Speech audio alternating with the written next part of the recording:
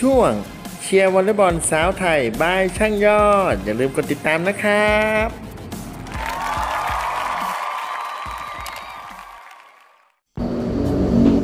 สวัสดีครับมาพบกับช่างยอดเช่นเคยนะครับ ช่างยอดกาฟี Beauty สวยหล่อสั่งได้ ออกแบบทรงผมชายหญิงนะครับ แต่ว่าชอบเชียร์วอลเลย์บอลสาวไทยนะครับสำหรับคลิปนี้นะครับยอดก็จะมาพูดถึง เกมแรกนะครับในศึกชิงแชมป์เอเชียนะครับระหว่างไทยกับเกาหลีเหนือนะครับว่าเป็นยังไงกันบ้างนะครับ วันนี้ไทยก็พ่ายนะครับพ่ายให้กับเกาหลีเหนือไป 1 ต่อ 3 เซตนะครับ เดี๋ยวเราไปดูรายละเอียดกันเลยนะครับว่าเป็นยังไงกันบ้างนะครับ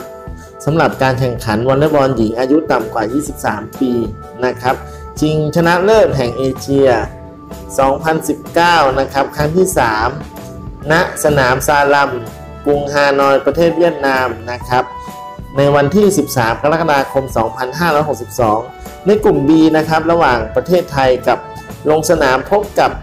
ทีมชาติเกาหลีเหนือนะครับ แต่ว่าโค้ชชำนาญดอกไม้นะครับ ผู้ฝึกสอนทีมชาติไทยนะครับ ส่งผู้เล่น 6 คนแรกก็คือ 1. วิภาวีสีทอง 2. ทิชยาบุญเลิศ อันนี้เป็นตัวเซตนะครับ แล้วก็วิมลรัตน์ ธนพันธ์นะครับที่ราวันแสงอบอันนี้บอลเร็วนะครับ ธนชาสุขสดหัวเสา พัทยาจวงจันทร์นะครับ ตัวรับอิสระจิดาภา นาหัวหนองนะครับสำหรับ 6 คนแรกนะครับที่โค้ชชำนาญเลือกใช้งานนะครับ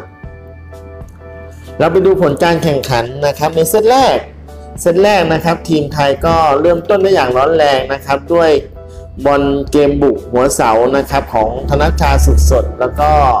คนอื่นก็ทำตำแหน่งทำหน้าที่ได้ดีนะครับ ก็แต่ว่าเกาหลีเหนือพยายามเปิดเกมเข้าสู้ แต่ยังทำได้ไม่ดีพ่ายไปด้วยคะแนน 25 ต่อ 17 นะครับ เซตแรกไทยเรานำไปก่อน 1 ต่อ 0 นะครับ ไปดูเซตที่ 2 นะครับเกาหลีเหนือก็แก้เกมมาได้ดีนะครับ มีจังหวะการทำเกมลุก และออกนำไปได้ก่อน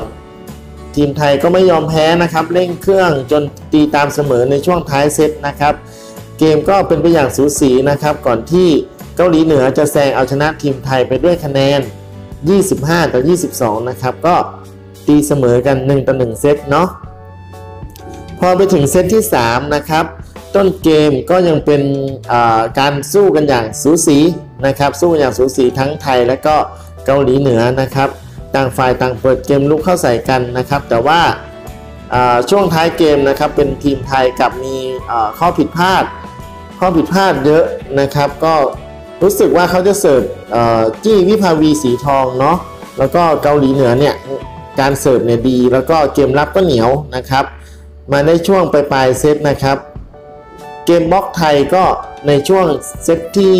3 นะครับก็หายไป นะครับ ก็พ่ายไป 19 ต่อ 25 นะครับ ส่วนเซตที่ 4 นะครับ เซตสุดท้าย ในช่วงต้นเกมสาวไทยก็ออกนำไปได้ก่อนนะครับ แต่ว่าเกาหลีเหนือยังใช้เกมลุกหลากหลายนะครับ เข้าสู้ก่อนที่จะแซงในช่วงท้ายเซตนะครับ ไทยเองก็เปิดเกมเข้าสู้ จนแบบตามตีเสมอได้นะครับ แต่ต้อง ตัดสินกันด้วยแต้มพิเศษนะครับ ก็ดิวกันไปดิวกันมานะครับ บีบหัวใจทั้งสองฝ่ายนะครับ แต่ว่าผลสุดท้ายแล้วเกาหลีเหนือก็เอาชนะไปได้ด้วยคะแนน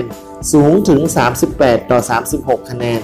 นะครับก็สรุปผลการแข่งขันเนาะเกาหลีเหนือชนะไทย 3 ต่อ 1 เซตด้วยคะแนน 17 ต่อ 25 25 ต่อ 22 25 ต่อ 19 และ 38 ต่อ 36 คะแนนนะครับ ก็น่าเสียดายนะครับ เกมแรกไป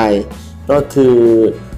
รู้สึกว่าของเขาจะมีตัวเด่นๆอยู่2คนนะครับ เบอร์ 3 กับเบอร์ 5 นะครับ ที่สามารถขึ้นลุกทำแต้มได้ตลอดนะครับ ส่วนทีมชาติไทยนะครับ จะลงสนามนัดต่อไปวันที่ 15 นะครับ กรกฎาคม 2562 เวลา 5 โมงเย็นนะครับ 5 โมงครึ่งนะครับ ติดตามชมช่อง True ID กับ SMM Sport ถ่ายทอดสดนะครับ แข่งกับ ทีมชาติออสเตรเลียนะครับอย่าลืมให้กำลังใจพวกเธอด้วยนะครับสำหรับคลิปนี้นะครับยอดก็มีข่าวอัปเดตข่าวสารเพียงเท่านี้ฝากกดติดตามกด Subscribe กดกระดิ่งให้ยอดด้วยเพื่อที่ไม่พลาดข่าวสารวอลเลย์บอลสาวไทยนะครับ